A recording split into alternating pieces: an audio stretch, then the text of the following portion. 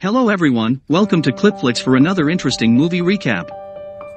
Today we are going to talk about Gold movie released in 2022.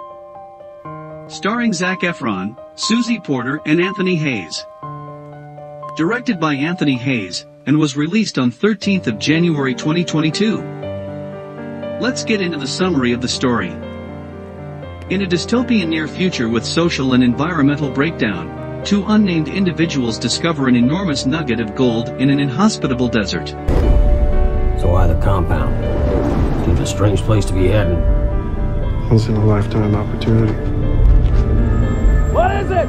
Come here! Look at this! They try to extract it using basic tools and their truck, but fail. One agrees to leave to find excavation equipment, while the other, Efron, stays to guard the claim.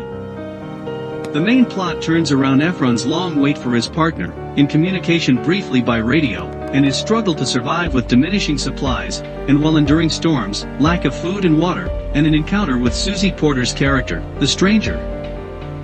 Porter begins to follow Efron and question his reasoning to be out in the desert. As he starts becoming paranoid, Efron kills Porter. Later, Efron is greeted by another unknown woman. Efron is becoming weak as he awaits the other man's return.